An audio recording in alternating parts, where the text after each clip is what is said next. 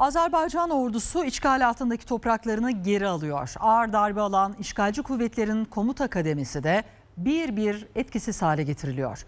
Son olarak Dağlık Karabağ'daki işgalci kuvvetlerin başında bulunan Celal Harut Yunyan'ın aracı vuruldu. Yaralanan Harut Yunyan görevden alındı. Azerbaycan ordusunun başarıları sonrası Ermenistan Ulusal Güvenlik Servisi Karşı İstihbarat Dairesi Başkanı da görevinden alınanlar arasında. Adım adım takip edildi. Hiç beklemediği bir anda aracı havaya uçuruldu.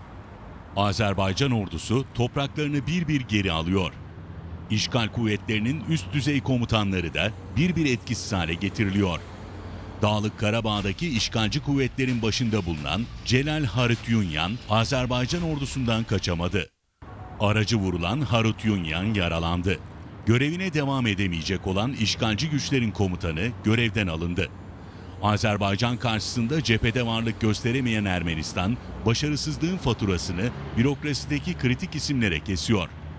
Ermenistan Ulusal Güvenlik Servisi Karşı İstihbarat Dairesi Başkanı Tümgeneral Ovanes Karumyan da Azerbaycan ordusunun başarılarının ardından görevden alındı. Ermeni general bir ay içinde görevinden alınan üçüncü isim oldu.